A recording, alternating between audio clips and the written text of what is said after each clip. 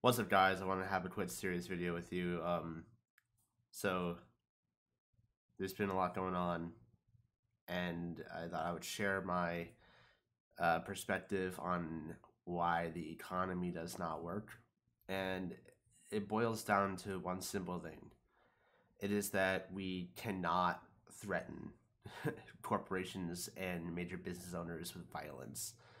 And I say cannot, we can't do that because I can't say the alternative. I can't promote it, and uh, you know I'm not going to. But the reason why, you know, the cost of living is constantly going up and everything is getting more expensive, is because they can raise the prices. People will say it's because of inflation, because you know the more of something you have, the less value it has. So the more of U.S. currency we have, the less vol- value, the less value the dollar has. So therefore, it requires more of that currency to pay for things, and that's why prices inflate. That's I'm not saying that's not true, but it's not because if you honestly give like two fucking seconds of a thought to think about it, back in the 1930s, 1940s, 1950s, we used to literally firebomb businesses and blow like literally basically like unionize and come together and fight for a fair wage, right? So right now we think, oh well, if they raise the wage, they're gonna, in, you know, inflation's gonna increase because there's gonna be more money. Value of the dollar goes down, requiring more dollar to meet the cost of living. That's the concept of oh why we can't raise the minimum wage, but in truth, they're printing money right now. They're printing money right now as we speak. They're they're they've been they've been printing money. They've been making money for years. They you know they go on and off. They they do it as they go.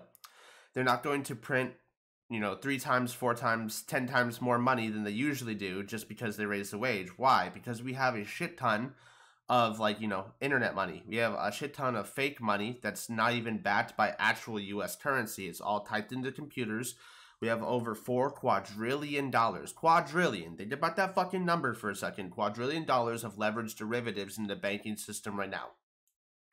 That's your money. That's my money. That's our neighbor's money. That's your your mom's money. That's your your everybody's money that is in the bank, the banking system that has to be protected by the bank using real U.S. currency. And there's honestly if you think about it with actual US currency, I think it's like 2 trillion, just like 2 trillion dollars that's actually in circulation, like actual real hard money and actual dollar that's in circulation right now and uh, that's nowhere near 4 quadrillion.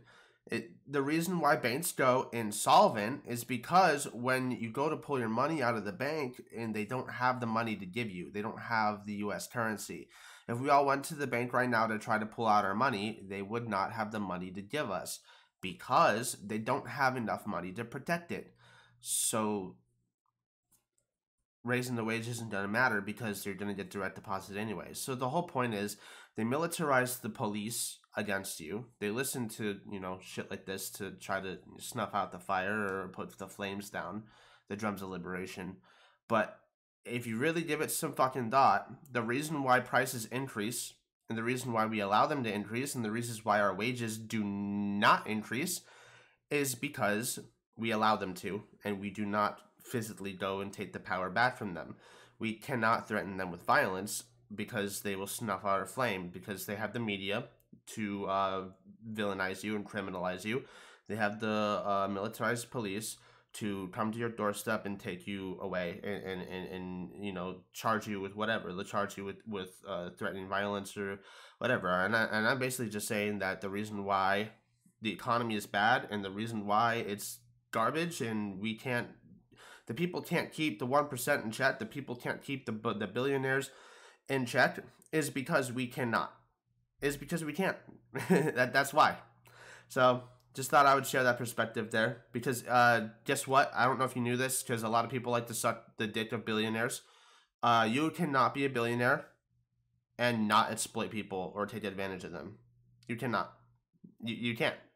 So at some point, something inhumane definitely happened to a group of people. And, you know, we say, oh, well, it's the foreign countries or China's and the sweatshops and all this shit. Well, guess what? In 1996, we literally made a deal with China, and that's why we have all this mass production that's constantly coming out of China. So, um, yeah, I mean, we're part of the problem, and we're we're, we're all part of the problem if you think about it, because we don't, you know, take uh, accountability for that. So, I just wanted to share that perspective. The reason why the economy is bad is because we we can't take the power back from them. We cannot fight them. That's literally what it is. Thank you guys for watching. Leave a like, hit the subscribe button. I'll see you guys in the next video. Complete.